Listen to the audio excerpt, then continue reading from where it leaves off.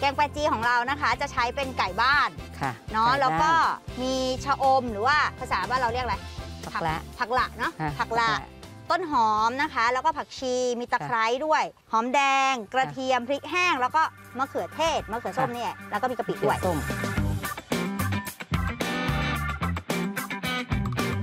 จะแกงกับไก่บ้านเนาะแกงไก่บ้านนะเขาต้องใส่ชะอมถึงจะเข้ากันเหรอคะค่ะอืมมันสุดดั้งเดิมอะค่ะสูตรดั้งเดิมอ่าหลังจากเตรียมเครื่องทั้งหมดเรียบร้อยแล้วนะคะ เราจะเริ่มโขลกเครื่องแกงกันค่ะ โดยจะมีตะไคร้กระเทียมหอมแดงพริกแห้งจะนำลงไปโขลกให้เข้ากันนะคะ จากนั้นเมื่อเครื่องต่างๆละเอียดเราก็จะใส่กะปิลงไปค่ะ เครื่องต่างๆนะคะ ตอนนี้เรียบร้อยแล้วทั้งตัวค่ะพริกแกงเนาะผักอะไรก็หั่นเอาไว้แล้ว เดี๋ยวขั้นตอนแรกไม่เรียบจะผัดตัวพริกแกงค่ะนี่แหละผัดกับน้ำมันนิดนึงนะแม่เนาะค่ะได้เลยจ้ะได้เลยหมูก็น่าจะเข้าอยู่นะแม่เนาะค่ะ หมูก็ได้ หมูค่ะซี่โครงหมูกระดูกค่ะหมู กระดูกหมู อันนี้พอผัดจนพริกแกงเขาหอมนะคะ ก็ใส่ไก่บ้านลงไป เหมือนเอาลงไปไปรวนนิดหนึ่งค่ะนะค่ะต้องให้ไก่มันสุกนิดนึงอะค่ะแม่ไก่สุกนิดหนึ่งแล้วก็ใส่น้ำจ้ะเมื่อสังเกตว่าไก่เริ่มสุกนะคะ เราจะใส่น้ำลงไปแค่พอคลุกคลิก จากนั้นก็จะรอให้เดือดอีกครั้งก่อนที่จะใส่ถั่วแปรจีสดค่ะ เดี๋ยวจะลองชิมแบบสดๆนะคะ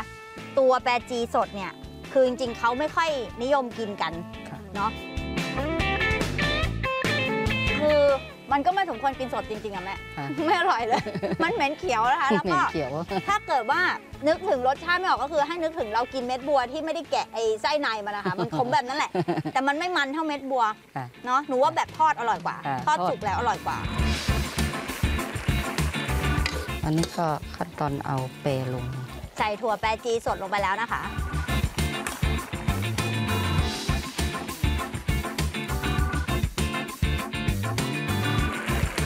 ถั่วเริ่มสุกนะคะ เราจะใส่ผักต่างๆ ตามลงไป โดยจะเริ่มจากมะเขือเทศค่ะ ซึ่งมะเขือเทศนั้นนอกจากจะให้สีสันแล้ว ยังช่วยให้แกงของเรามีรสเปรี้ยวด้วยค่ะ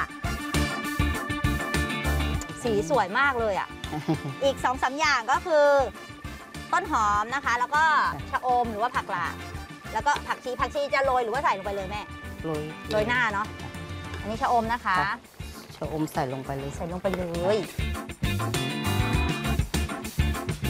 ค่ะคือพอใส่ชะอมกับต้นหอมคนแป๊บเดียวก็สุกแล้วนะคะเพราะมันค่ะสุกง่ายเนาะค่ะแล้วก็เดี๋ยวเราโรยผักชีค่ะอ่าเสร็จเรียบร้อยแล้วค่ะ แกงแปรจีแปรจี ใส่ไก่บ้าน ค่ะ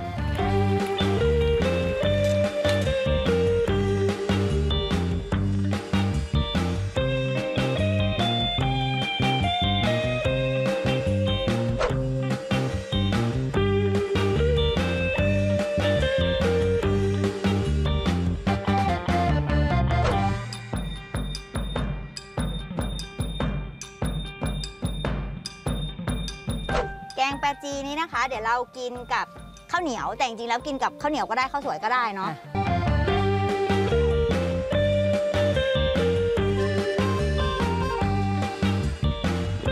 คือตัวน้ำแกงเนี่ยมันไม่ได้มีความแบบเขาเรียกอะไรมันมันมีความหอมของกะปิเนาะค่ะไม่เผ็ดมากนะคะ แล้วก็อมเปรี้ยวนิดๆเพราะว่ารสของมะเขือเทศมันออกเนาะแต่ว่ามันไม่ได้เปรี้ยวแบบแกงส้มอย่างนั้นนะคะ มันจะแบบส้มแกงขนุนอะแบบนั้นเลย